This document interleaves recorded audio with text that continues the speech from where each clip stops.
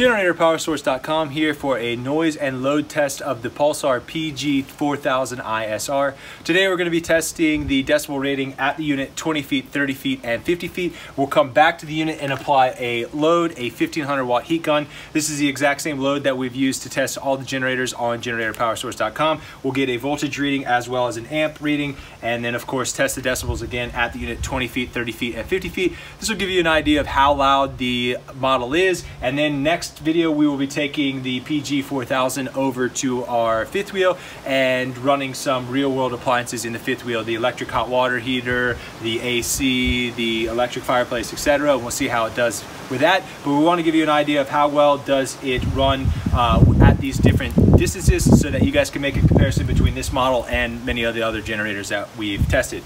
Uh, before we get started, we will go ahead and get an ambient reading. Between 41 and 46 decibels, depending if we're getting a breeze or not. This is an electric start, so we'll go ahead and flip the battery on, and we are gonna be running under the eco mode, so we'll go ahead and push start.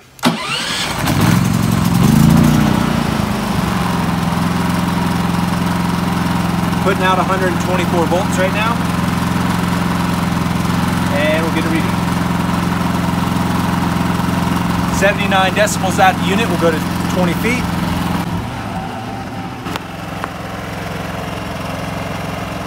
61, 62 decibels at 20 feet, we'll go to 30.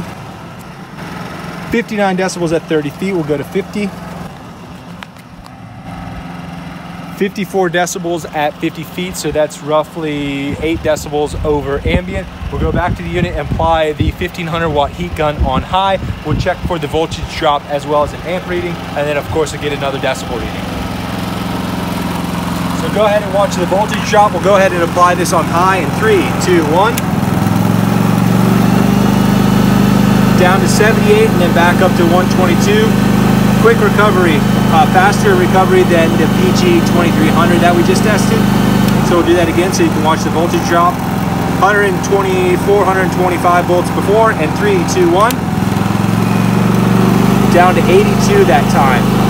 And now back up to 122 volts. And as you can see, we are pulling almost 13 amps 84 decibels at the unit will go to 20 feet. 68 decibels at 20 feet will go to 30. 65, 66 decibels at 30 feet will go to 50. 58 decibels, so slightly louder under a load. You can definitely tell with the 4,000 watt generator that it is a significantly less uh, load compared to the PG 2300 that we just reviewed.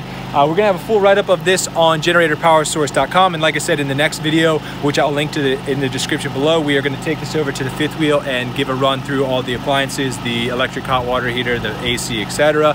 Thanks for watching guys, subscribe, give us a thumbs up, it's what helps us to keep going. We'll be back next time for more video reviews.